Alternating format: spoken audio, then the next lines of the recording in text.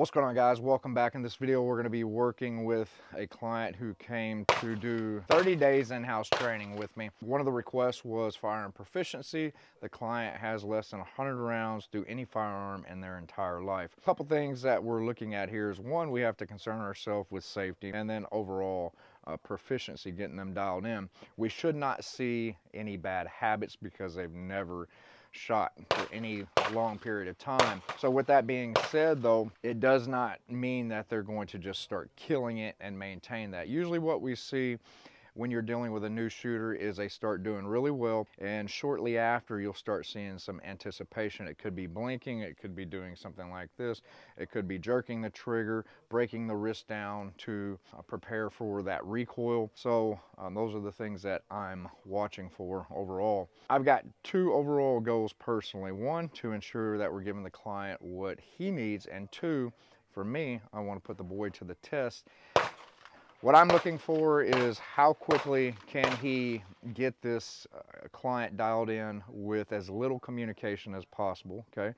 Don't overthink it. Don't give them too much information because you're going to overload them and it really does you no good at this point. Number two, um, how quickly can he do it in a sense of um, round count. Doesn't matter how many rounds you shoot if you're not being proficient. So you can sit out here and say, well, rounds matter. Well, you can shoot 500 rounds or I can control you in a manner and put 10 rounds down range and improve your shooting overall.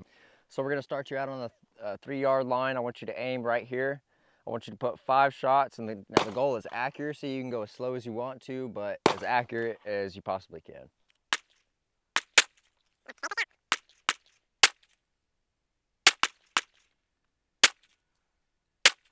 So great job.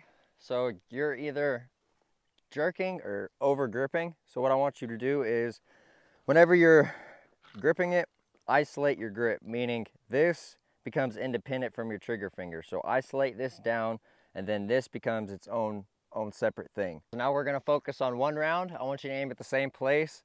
Come out of the holster, sights on, slack out, squeeze that one round. Make sure that your grip is isolated from your trigger and then after that, finger indexed and back in the holster.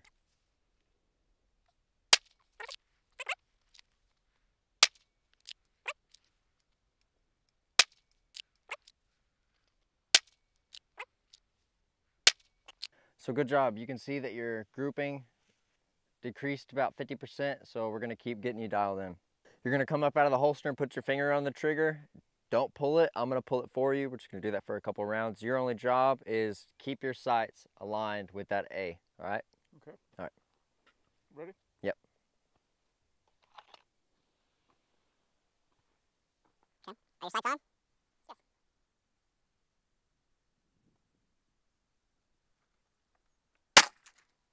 Okay, finger back on, your sights on. They on? Okay, sights on.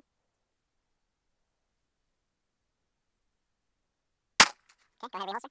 So as you can see, significantly better. I mean, we're under a quarter.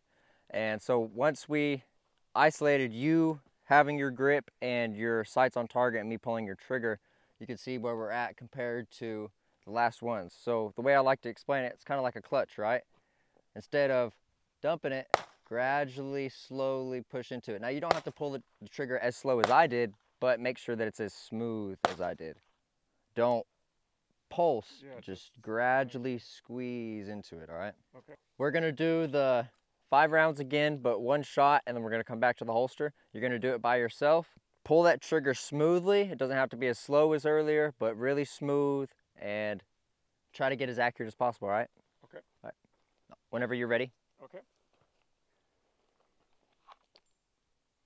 Make sure you keep that grip isolated from your trigger pull. Sights on, slack out, squeeze. Okay, reholster.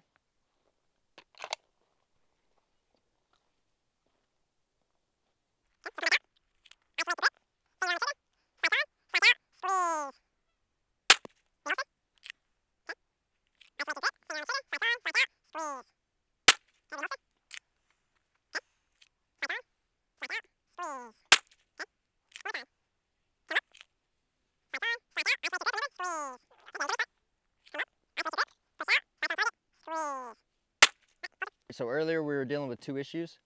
You're, you were over gripping as you were pulling your trigger and you were jerking your trigger. We know that you can keep your sights on target. On this last round, you pretty much you got rid of that over gripping and now you just have a slight trigger jerk and we're gonna get that worked through. So I know you have more familiarity with the 19X trigger. You, you prefer them just the way they're forgiving. SIGs, with this particular trigger, it's shorter and it's lighter. That's where your trigger jerk is coming through.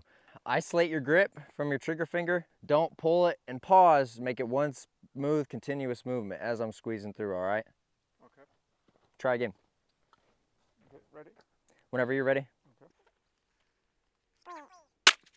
You see how you paused? Like whenever you're pulling through it, you hit that last little bit right before it broke and then you paused. Because once you start that going through the slack and you hit that wall, pull right through it. Don't stop on that wall. Okay. You hear a lot of people say, just use what works best for you.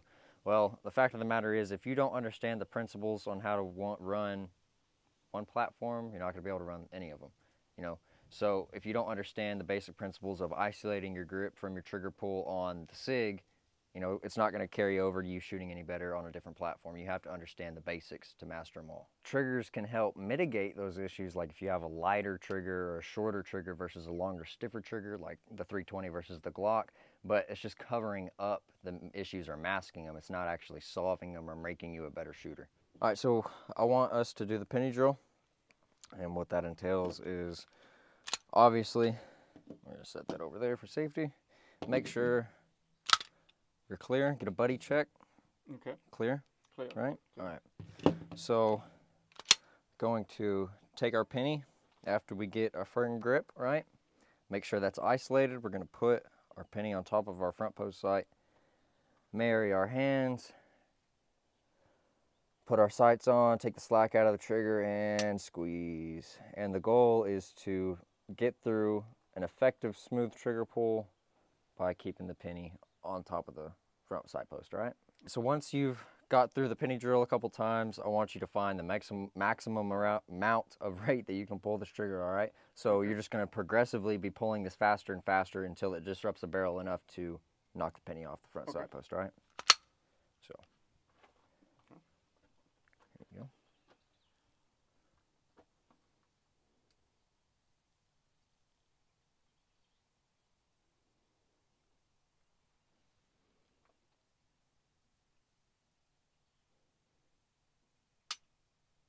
Pull it a little bit faster this time, all right? Okay.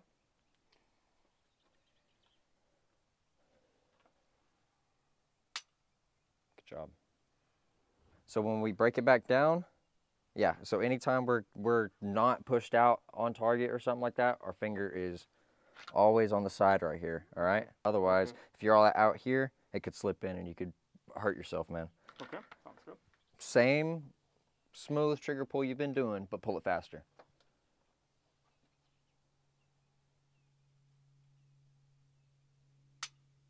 You notice how towards the end of that trigger pull, you, you sped up through the front half, and then that last little quarter right before it broke, you slowed down. Keep that same speed throughout that whole trigger pull, right? One consistent pull, not boom, boop. It's just one consistent thing, all right?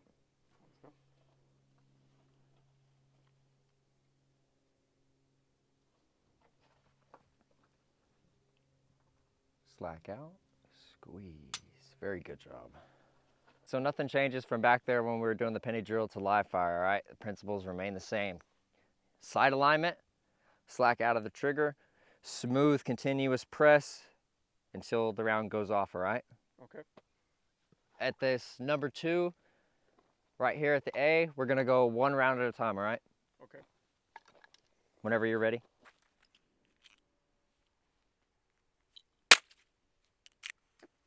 Squeeze, continuously through that.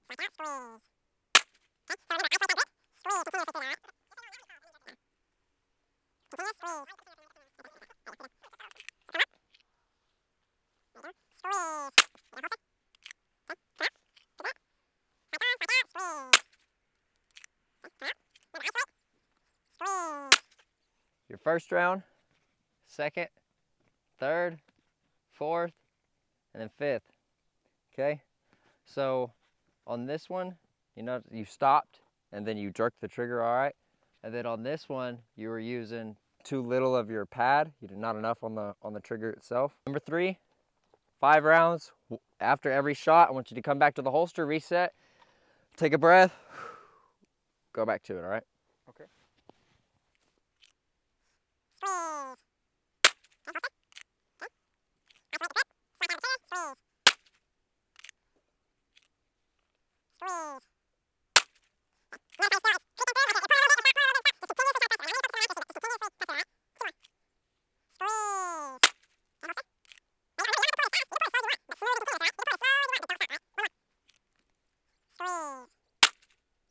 So you can see your first five, your second five, a little bit smaller.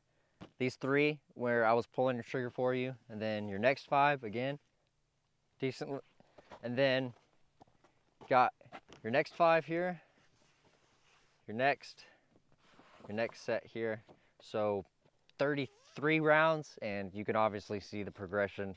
All right, guys, just something to take into consideration. Just because you go out and you shoot a lot of rounds doesn't mean that you are a proficient or a good shooter. It is what you do with those rounds that makes you proficient. Something to also keep in mind, guys, is we started him off out at three yards, and you saw the grouping size, his first set of five, all right? If we would have pushed him back to 10 or even farther, those rounds would have missed their target completely. So it's important to set yourself up for success in these training uh, scenarios. If you're going to go out and train, don't you know, don't waste your time, don't waste anybody else's time. Set yourself up for success. Start slow, start close, and work your way back and progress. Have a great day and God bless.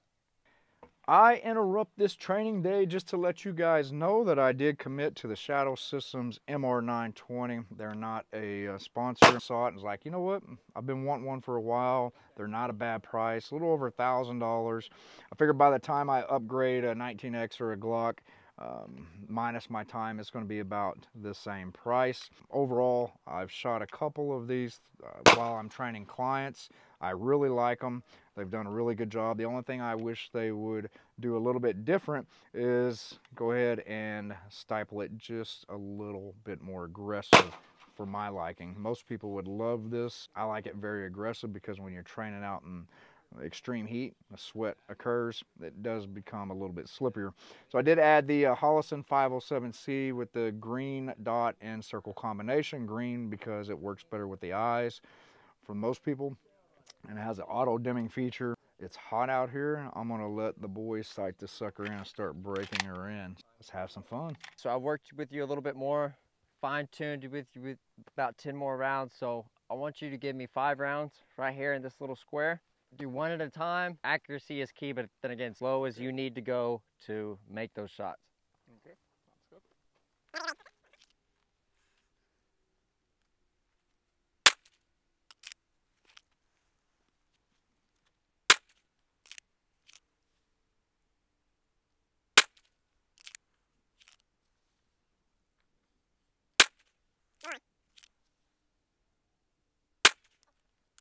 So even though you still have a slight trigger jerk, if we take this and compare it to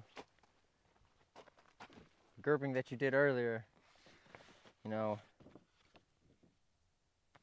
it's still progress, all right?